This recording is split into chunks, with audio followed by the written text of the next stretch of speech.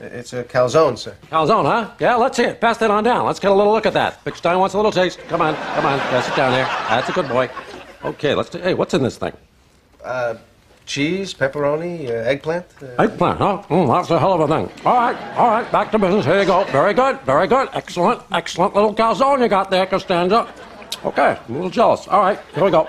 Hey, what's up, guys? Welcome back to Binging with Babish, where this week we're taking a look at the calzones from Seinfeld. To all fans of Parks and Rec, do not worry, I will be exploring the low-cal calzone zone in a future episode. But before we do anything, I want to talk about one thing, or rather two things. Pizza stones. Two pizza stones, one placed on the bottom rack of your oven, the other on the top, or even better, a pizza steel on the bottom and a pizza stone on top, creates a little oven within your oven, blasting your pizza or calzone with extra radiative heat from both the top and bottom. When the time comes, we're going to preheat these in a maxed out oven for one hour before using. But well before then, we need to start making our dough. So into the bowl of a stand mixer goes 360 milliliters of tepid water, to which we're going to add about 3 grams of active dry yeast, or about 1 teaspoon, and 2 grams, or about half teaspoon, of plain white sugar. This will be a nice little snack for our yeast while we let it bloom for 10 minutes before adding 600 grams of bread flour, giving our dough a hydration of about 60%. You can use all-purpose flour, but I've found that it needs a higher hydration, more like 65-70%, and bread flour just produces a better texture in the final product. Anyway, you'll notice that I added about 6 grams or 1 teaspoon of kosher salt to the flour before kneading on medium speed for about 5 minutes, after which time we should have a tacky, supple dough, which we are going to pre-divide into our desired portions. Then we are stretching each divided portion into a taut ball. The rounder and more taut it is, the easier our job is going to be later on. Then we're going to engage in a practice employed by many New York pizza shops, which is making the dough ahead of time and allowing it to cold ferment in the fridge. These quarter recipes of the dough are perfect for individual pizzas, but for the calzone we need a double portion of dough, since it is effectively a double pizza. Double pizza, double pizza stones, double dipping.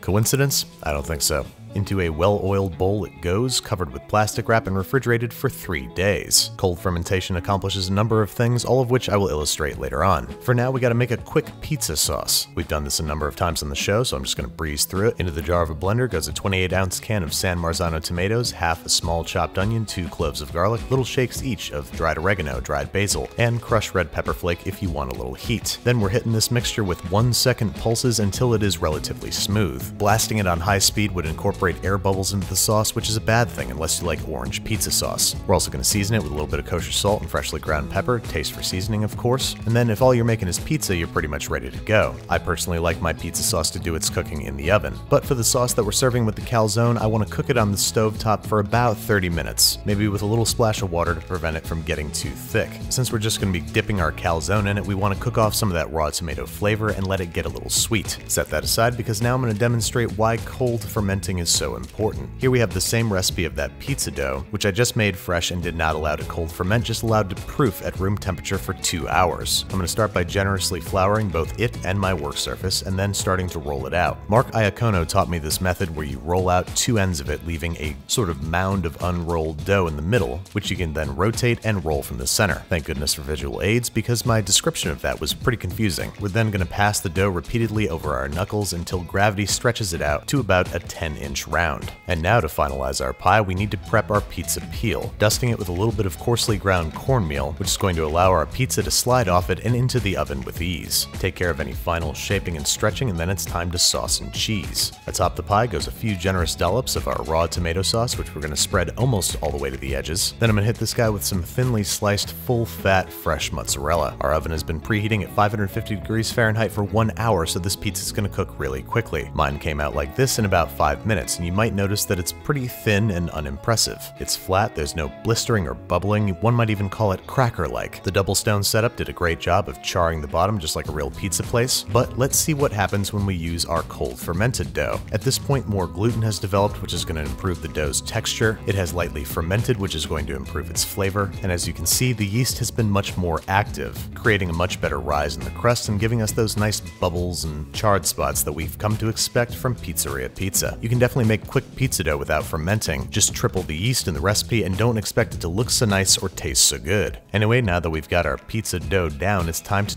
oh, oh geez, it's time to tackle our calzone. George specifies three different fillings, one of which is eggplants, which I'm going to start by slicing and placing on a rack set in rimmed baking sheet and lightly salting both sides with kosher salt. This is not only going to season our eggplant, it's going to make it weep bitter tears, literally. After about 30 minutes, you will notice a conspicuous brown liquid has materialized atop your eggplant slices. We're just going to dab that off with a paper towel, maybe give the paper towel a little taste to prove that it is in fact bitter. It is. That was a little dramatic though, so tone it back next time and make sure you dab both sides of the eggplant. Next, I'm going to do what I should have done before and line my sheet pan with aluminum foil for easier cleanup, pop the rack back on top, and get ready to roast. First, I'm going to season these guys with a little bit of freshly ground black pepper and a few healthy glugs of olive oil, which is going to help both flavor and coloring. Then these fellows are headed into a 400 degree Fahrenheit oven for 20 to 25 minutes until they're nicely browned and soft. Set them aside to cool off a bit, and then they're ready for a litany of roasted eggplant applications, including but not limited to calzone filling. I'm a little worried about long strands of eggplant slipping out of my calzone though, so I'm to go ahead and chop these into more manageable pieces. And at long last, we are ready to make some folded in half pizza. We've got our cold fermented dough here that we're going to let sit at room temperature for two hours or until it has doubled in size. Then, doing our best to maintain its roundness, we're going to retrieve it from the bowl, coat it liberally with flour on both sides, and then roll it out using the same method as before. And remember that this is double the dough of the previous individual pizzas, so it's going to be considerably larger. We're going to use the same knuckle over knuckle method to stretch it out about as wide as we can get it. After all, New York pizzerias are known for many things. Small calzones are not one of them. Now, on the interior half of this circle, we're going to start spreading a whole bunch of high quality ricotta, making sure to leave a 2 to 3 inch gap on the outside. Next up, we are shingling that with some pepperonis, topping our pepperonis with our chopped roasted eggplant, and then topping that with just a whole lot of thinly sliced fresh mozzarella cheese. And then it's time to turn our toppings into fillings. Fold the dough right over, trying to drape instead of stretch, and then we're going to seal this whole affair shut by simply using a pizza cutter to trim off the excess. No egg wash, no butter, no muss, no fuss. Teenage Mutant Ninja Turtle pizza cutter optional. We're just going to pinch the edge shut a little bit to make sure that it's totally sealed. I'm going to tuck in the calzone tips a little bit just to make sure that it fits on my pizza peel, which I am of course going to dust with coarsely ground cornmeal. Place the calzone on top, make any last minute adjustments. I'm going to turn it around so the thicker part is facing the hotter part of my oven. And then it's time to shimmy this guy betwixt our two stones for what could take anywhere from 5 to 15 minutes depending on your oven's hotness. Then we're going to immediately slice this guy in half, which prevents the steam from making the crust soggy from the inside out, and take a look at a seriously cheesy calzone cross section, marred only by the buildup of liquid you can see around the bottom of the zone. The calzone, while still absolutely delicious, has fallen victim to overmoist artisanal fillings, and while it is an obvious and undisputed member of the Clean Plate Club, the Milky Way or whatever it is is bumming me out something fierce. So let's see if we can't take a few simple steps to reduce the moisture inside our zone. That, as a sentence, does not sound great. First, we're going to drain some whey out of the ricotta by lining a sieve with four layers of cheesecloth, setting that whole affair in a bowl, dumping in the ricotta, covering with plastic wrap, and draining overnight. Alternately, you could weigh it down with something heavy like a jar, and let that squeeze the moisture out of the ricotta for 20 to 30 minutes. Next up, I'm going to use shredded full fat, low moisture mozzarella. Lay down a little insulative layer on the thinner side of the dough round. Take note that this plastic wrap really loves cheesecloth. Take a look at our bounty. That's not much, but it's a few tablespoons that won't end up in our calzone. And continue as before, layering toppings, folding the whole thing closed, sealing shut with a pizza cutter, and dumping the whole thing into our oven that's been maxed out and preheating for one hour. And that is looking just about awesome. I'm gonna bust out the mezzaluna this time so I look like an adult, cutting open my giant pizza pocket, and was relieved to see right away that our moisture problems were no more. There's a bit of doming going on on the inside of the calzone, but for the most part, we've reached the apex of the art form here. I've had a lot of pizza and calzones recently, so I'm gonna cut this into foursies for sharesies, briefly admire the molten cheese inferno before using it immediately to burn my mouth. The bottom's got a little bit of char, but I'm actually into that, and the whole thing is just awesome. Go make one now, or rather in three days. Sorry about that.